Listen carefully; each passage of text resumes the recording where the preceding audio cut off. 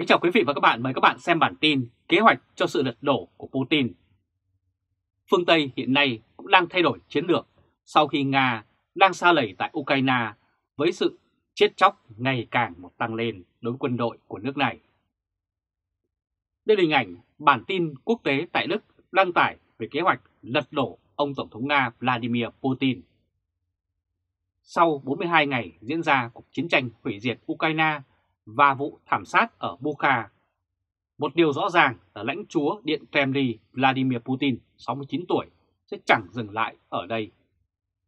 Và thế giới đang tự hỏi rằng ai hoặc điều gì thực tế thực sự có thể ngăn cản được ông Putin như vậy. Có một điều chắc chắn là quân đội của ông ta ở Ukraine đã bị tổn thất rất nghiêm trọng. Các lệnh trừng phạt kinh tế đang ảnh hưởng nặng nề đến đất nước của ông ta. Tuy nhiên, nhà độc tài Nga không muốn từ bỏ một cách tự nguyện. Gã này thật tàn bạo, Tổng thống Mỹ Biden đã nói như vậy. Ông kêu gọi đưa Putin ra trước tòa án tội ác chiến tranh. Và những gì đang xảy ra ở Bukha thật là nghiêm trọng, ông nói. Chính phủ Đức cũng nói rằng với sự lãnh đạo của Putin ở Nga sẽ không thể quay trở lại quan hệ bình thường với Nga được nữa. Vì trước đó Putin đã nhiều lần nói dối các chính trị gia của Đức và cuối cùng, ông ta vẫn đưa 200.000 quân tấn công vào xâm lược Ukraine. Và đó là lý do tại sao phương Tây hiện nay đang thay đổi chiến lược của mình. Đây là hình ảnh chính phủ Đức quyết định viện trợ cả xe bọc thép cho Ukraine. Đây là một đòn giáng mạnh vào quân đội Nga khi Ukraine trở nên mạnh hơn.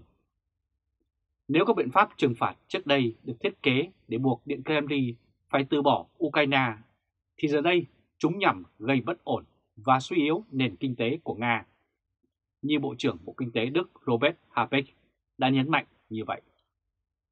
Các nước châu Âu muốn khiến cho Nga phải quỳ gối bằng một cuộc tẩy chay năng lượng. Tổng thống Pháp Macron, 44 tuổi, là người khởi xướng các biện pháp trừng phạt cứng rắn nhằm của châu Âu nhắm vào Nga. Và mục tiêu là gây thiệt hại cho nền kinh tế của Nga đến mức giới thượng lưu và dân chúng của Nga sẽ phải nổi dậy chống lại Putin và trong trường hợp tốt nhất là lật đổ ông ta. Ngoài ra, các nhà tài phiệt của Putin sẽ bị kích động chống lại người bảo trợ của họ bằng các biện pháp trừng phạt tài chính rất nghiêm khắc. Đó là rất nhiều du thuyền, rất nhiều tài sản của họ trị giá hàng trăm tỷ đô la đã bị đóng băng tại nước ngoài. Cựu tỷ phú Roma Abramovich, 55 tuổi, được cho là đang phải ngửa tay xin tiền từ các nhà tài, tài phiệt khác của Nga sau khi bị tịch thu hết cả tài sản, bao gồm cả du thuyền tại nước ngoài. Và một sự thay đổi khác đó là chuyển giao vũ khí cho Ukraine. Đây là hình ảnh Mỹ và các nước thuộc khối NATO viện trợ vũ khí chống tăng cho Ukraine để tấn công và tiêu diệt các xe tăng của Nga, đem đến thiệt hại to lớn cho quân đội của nước này. Quân đội của Putin giờ sẽ bị đánh bại trên thực địa. Cho đến nay, người ta vẫn nói rằng việc giao vũ khí cho Ukraine sẽ làm cho Putin phải trả giá cao hơn. Thì giờ quân đội của Putin sẽ bị đánh bại trên thực địa. Đổi lại, Mỹ, Anh, Đức hiện cũng đang cung cấp vũ khí hạng nặng cho Ukraine, thậm chí cả xe tăng. Rap Fritz, người cười đứng đầu chủ nghĩa hiện đại tự do, đã nói với truyền thông Đức mục đích là Putin phải thua trong cuộc chiến này, cũng là để ngăn ông ta tiếp tục các cuộc phiêu lưu quân sự vào thời gian tới. Kính chào quý vị và các bạn và các bạn xem bản tin Đỗ Anh Dũng bị bắt, ai chung số phận và ai đang xanh mặt. Sau khi làm mưa, làm gió, đấu giá thổi giá đất lên tận 9 tầng mây xanh rồi bỏ cọc, ông Đỗ Anh Dũng Chủ tịch Hội đồng thành viên kiêm Tổng thống đốc Tân Hoàn Minh đã bị bắt. Đây là tin chấn động với các đại gia bất động sản tại Việt Nam. Vì sao như vậy? Vì đây là một phát súng rất mạnh mà chính quyền của Đảng Cộng sản Việt Nam đâm nhắm vào các đại gia bất động sản như một lời tuyên chiến. Có lẽ cừu được nuôi đã đủ béo và đến giờ là mổ để thịt. Việc bắt bà Nguyễn Phương Hằng và ông Trịnh Văn Quyết trước đó không phải là những tội danh trong lĩnh vực bất động sản nhưng thực tế thì những doanh nghiệp này có liên quan đến ngành bất động sản rất lớn. Theo thông tin thì báo chí, nhà nước của Đảng Cộng sản Việt Nam thì các cá nhân tại tập đoàn Tân Hoàn Minh đã có hành vi gian dối sử dụng 3 công ty thành viên và các công ty liên quan phát hành 9 đợt trái phiếu, trái quy định với tổng giá trị lên tới 10.300 tỷ đồng. Một số tiền rất lớn. Cơ quan Cảnh sát điều tra của Bộ Công an đang điều tra xác minh một số hành vi có dấu hiệu vi phạm pháp luật liên quan đến việc phát hành trái phiếu, huy động tiền của nhà đầu tư của các công ty thành viên thuộc công ty trách nhiệm hữu hạn thương mại dịch vụ khách sạn Tân Hoàn Minh, viết tắt là tập đoàn Tân Hoàn Minh.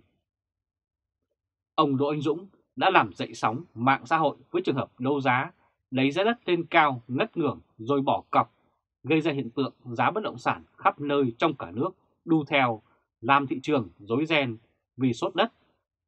Từ hành động này, ông Đỗ Anh Dũng bị cả xã hội lên án và cơ quan công an đã vào cuộc điều tra. Đây là hình ảnh thông tin về việc ông Đỗ Anh Dũng bị bắt. Kết quả điều tra là trong thời gian từ tháng 7 năm 2021 đến tháng 3 năm 2022, ông Đỗ Anh Dũng và các cá nhân tại tập đoàn Tân Hoàn Minh đã có hành vi gian dối sử dụng 3 công ty thành viên bao gồm Công ty trách nhiệm hữu hạn đầu tư bất động sản Ngôi sao Việt, Công ty cổ phần và đầu tư và dịch vụ khách sạn solight Công ty cổ phần Cung điện mùa đông và các công ty liên quan phát hành 9 đợt trái phiếu trái quy định pháp luật tổng cộng trị giá 10.300 tỷ đồng để huy động tiền của các nhà đầu tư nhưng không sử dụng vào các hoạt động kinh doanh theo hồ sơ phát hành trái phiếu.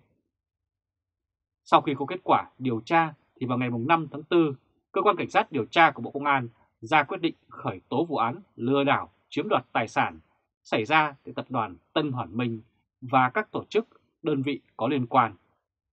Đồng thời ra các quyết định khởi tố bị can, lệnh bắt bị can để tạm giam, lệnh khám xét đối với ông Đỗ Anh Dũng và 6 bị can đồng phạm về tội lừa đảo chiếm đoạt tài sản theo Điều số 174 Bộ Luật Hình sự vào năm 2015, sửa đổi bổ sung vào năm 2017.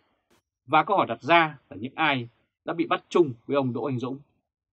Để thực hiện những cú lừa hàng vạn tỷ đồng thì tất nhiên là không chỉ một mình ông Đỗ Anh Dũng mà là phải có sự cộng sự và rất nhiều người nâng đỡ. Trước mắt, cộng sự của ông Đỗ Anh Dũng là ai? Đó là những cái tên sau. Đỗ Hoàng Việt, sinh năm 1994, trú tại thành phố Hồ Chí Minh, Phó Tổng giám đốc Công ty trách nhiệm hữu hạn Thương mại Dịch vụ Khách sạn Tân Hoàn Minh. Nguyễn Mạnh Hùng, sinh năm 1978, trú tại Vĩnh Phúc, Chủ tịch Hội đồng Quản trị Công ty trách nhiệm hữu hạn Đầu tư bất động sản Ngôi sao Việt. Phó Tổng giám đốc Công ty trách nhiệm hữu hạn Thương mại và Dịch vụ Khách sạn Tân Hoàn Minh. Trần Hồng Sơn, sinh năm 1961, trú tại Hà Nội, Chủ tịch Hội đồng Quản trị Công ty Cổ phần Đầu tư và Dịch vụ Khách sạn Soleil. Phó Tổng giám đốc Công ty Trách nhiệm hữu hạn Thương mại và Dịch vụ Khách sạn Tân Hoàn Minh. Nguyễn Khoa Đức, sinh năm 1984, trú tại Hà Nội, Chủ tịch Hội đồng Quản trị kiêm Giám đốc Công ty Cổ phần Cung điện Mùa Đông. Lê Văn Thịnh, sinh năm 1978, trú tại Ninh Bình, Phó Tổng giám đốc Công ty Trách nhiệm hữu hạn Thương mại Dịch vụ Khách sạn Tân Hoàn Minh. Phùng Thế Tính, sinh năm 1973, trú tại Hà Nội, nguyên Giám đốc Công ty Trung tâm Tài chính Kế toán, Công ty Trách nhiệm hữu hạn Thương mại Dịch vụ Khách sạn Tân Hoàn Minh. Như vậy, ngoài ông Dũng thì còn có 6 nhân vật khác cùng bị bắt chung với ông. Lần này, chính quyền của Đảng Cộng sản Việt Nam trời lớn. Họ quyết định đánh mạnh vào các sai phạm của các đại gia bất động sản vốn đã tồn tại rất nhiều từ trước đến nay và chắc chắn phía sau có rất nhiều những quan chức cấp cao của Đảng nâng đỡ. Đây là hình ảnh ông Đỗ Anh Dũng và tập đoàn Tân Hoàn Minh. Theo báo chí nhà nước của Đảng Cộng sản Việt Nam, thì hiện nay cơ quan cảnh sát điều tra của Bộ Công an đang tập trung lực lượng để điều tra, làm rõ hành vi tội phạm của các bị can, mở rộng vụ án thu hồi tài sản. Việc mở rộng điều tra hứa hẹn bắt nguội thêm một số nhân vật bao che cho ông chủ Tân Hoàn Minh với những thương vụ trên thị trường bất động sản lớn như vậy, khó mà có thể nói ông Đỗ Anh Dũng không được sự giúp đỡ bởi những quan chức có quyền, có thế, cán bộ cấp cao trong Đảng Cộng sản. Vì vậy, hiện nay, những con người có dính dáng đến Tân Hoàn Minh hay Đỗ Anh Dũng mà chưa bị lộ đều phải sợ xanh mặt, xem xét động tĩnh của việc điều tra vụ án và không loại trừ có nhiều kẻ tính đường tháo chạy. Được biết trước đó, vào ngày 4 tháng 4, Ủy ban Chứng khoán Nhà nước công bố hủy bỏ 9 đợt chào bán trái phiếu trị giá 10.000 tỷ đồng trong thời gian từ tháng 7 năm 2021 đến tháng 3 năm 2022 của công ty trách nhiệm hữu hạn đầu tư bất động sản Ngôi sao Việt, công ty cổ phần Cung điện mùa đông và công ty cổ phần đầu tư khách sạn dịch vụ Soleil. Vào ngày 4 tháng 4, tức trước khi ông Đỗ Anh Dũng bị bắt vào ngày, có đề nghị của cơ quan có thẩm quyền về việc hủy bỏ các đợt phát hành trái phiếu của ba công ty thuộc tập đoàn Tân Hàn Minh do có hành vi công bố thông tin sai sự thật, che giấu thông tin trong hoạt động phát hành trái phiếu riêng lẻ. Ủy ban chứng khoán nhà nước quyết định hủy bỏ 9 đợt chào bán trái phiếu trên của nhóm doanh nghiệp Tân Hoàn Minh. Theo quyết định này, các tổ chức đăng ký lưu ký trái phiếu có trách nhiệm dừng chuyển quyền sở hữu các trái phiếu công ty Ngôi sao Việt, công ty Cung điện Mùa Đông, công ty Soleil thuộc tập đoàn Tân Hoàn Minh trong 9 đợt chào bán trái phiếu trên. Đây là hình ảnh báo chí tấn công Tân Hoàn Minh trước khi cơ quan cảnh sát điều tra bắt ông chủ doanh nghiệp này. Khi những quyết định hủy bỏ ban hành, xã hội cũng cho rằng việc bắt ông chủ Tân Hoàn Minh chỉ là vấn đề thời gian. Và thực tế diễn ra đúng như vậy, chỉ sau một ngày là ông Đỗ Anh Dũng bị bắt. Vụ án này đang hứa hẹn là một vụ án rất lớn và có thể rất nhiều quan chức cấp cao trong đảng sẽ bị lộ mặt.